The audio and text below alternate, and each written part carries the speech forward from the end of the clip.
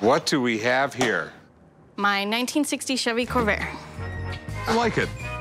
Would you like to hear the horn? Let's hear the horn. That's not stock, is it? No. I thought it was really unique in its own way, so I had to have it. I think it's in pretty good condition. A lot of Corvairs are just rust buckets. I need to sell it just because I need some money for school. I'm hoping to get about 10,000. The least I'll take is about 6,000. This is a 1960? Mm-hmm. It was the first model year. In 1960, if you were like an 18, 19-year-old kid having this car, you were cool. It was a modern, slick-looking car. This was a really innovative car. I mean, GM completely redesigned the car with this thing. What was so new and innovative about it? Air-cooled motor in the back, rear-engine car, really fuel efficient. I mean, this thing got, I think it was like 26 miles to the gallon. They were trying to go a little Volkswagen Yeah. ish. Basically, in 1960, you had Porsche, Volkswagen, and Corvairs were the only ones with the engine in the back. The Corvair was GM's attempt at a revolutionary new car. They were trying to compete with other cars that were gaining popularity, like the Volkswagen. They came up with a radical new design that took chances and turned heads. Let me show you the inside. Okay. This was considered a compact car back then. It's a decent-sized little car for a small family. We put the seatbelts in. Okay, yeah. Because of this car, a lot of car safety was created. I know a little bit about the SLAM campaign in 64. Ralph Nader. Ralph Nader, yeah. Yeah. Ralph Nader's book, Unsafe at Any Speed, focused on the dangers of driving the Corvair. He testified in front of Congress about it. Now we have safer windshields, seatbelts, and energy-absorbing steering wheels. I'll tell you what, there's people who fell in love with this car, and there's people in love with them today. Yeah. I've had a guy follow me for a couple of miles just to ask what year it was, and Sounds creepy. it was a little creepy, but people love the car. Can I look at the motor? Yeah. Have a gander under the trunk. There she is. All right, sweet. See how weird that motor is? This right here is called a pancake motor. It's flat as a pancake, and it doesn't have a radiator. It's air-cooled. We have a big fan that blows a lot of air right over the motor, and that's what keeps it cool. Well, I've never seen anything like that. It is cool, though. I mean, I really do dig it. What do you want to do with it? I want to sell it. I'm asking 10 grand. 10 grand. but by saying you're asking 10 grand means you'll already take less, right? Uh, not, not exactly.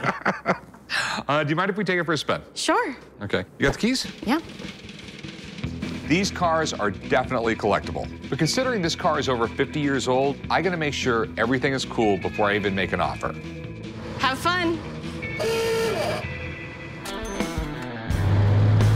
I mean, I like the car because it was just so different when it came out. I mean, they had to redesign everything to make this car. It's got a rear air-cooled engine, independent suspension. They took some chances making this car. You know, a lot of guys will argue to the death that these things are not dangerous. You just gotta know how to drive them right. If you're gonna make a car for the general public, then you shouldn't have to drive it right. It should drive like a regular car. You know what? It is what it is. I mean, guys do collect these. They're worth money. Is it my favorite car? No. I mean, like, look at the slop in the steering. You literally have to try it like this to...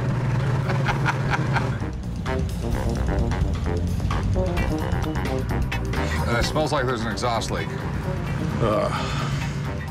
So, um, this is cool, but I don't know what to think of it, man. Feels like a death trap. This might not be Corey's bag, but there's actually some money here. There's a lot of collectors that love these cars. If she'll come down on the price, I think I can make some money here. Leaky exhaust and all. well, Where in the world did you get the number $10,000 on this car? Well, that's about what I have into it. what does that got to do with the price of tea in China? I could buy a convertible that's completely redone for $10,000. Well, you don't really need to spend too much on paint, and when she drives, she only slips out of gear if you're not going fast enough. That's not a huge selling point. you're asking too much for this car. You got some transmission problems. It's not shifting the way it should shift. It's dropping out of gear and doing some weird things. Well, Blue Book and uh, my insurance has it at 8,000. Crash it. God, son.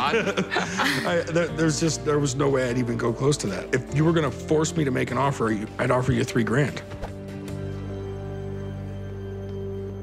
I, I couldn't take that. We're way too far apart. Thanks for coming by, though. Thank you.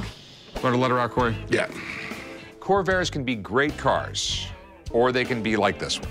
I wanted to fall in love with this thing, but a bad transmission and sloppy steering, I just couldn't make the romance work.